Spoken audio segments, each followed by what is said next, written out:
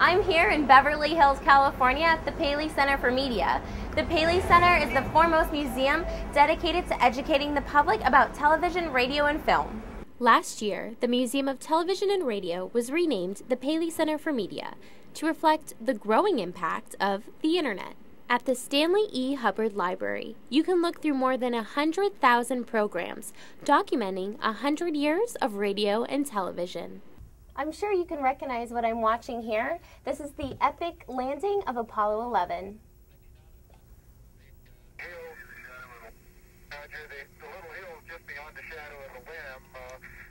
A-listers like Chris Rock and Leonardo DiCaprio come here to research characters they will be portraying for upcoming roles.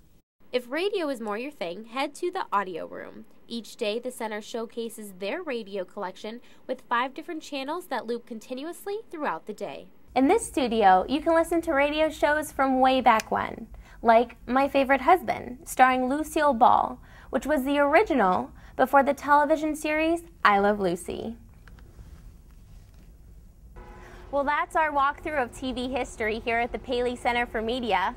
But I also got to sit down and talk to somebody who is making some TV history of his own. Vin Di Bona, executive producer and creator of America's Funniest Home Videos.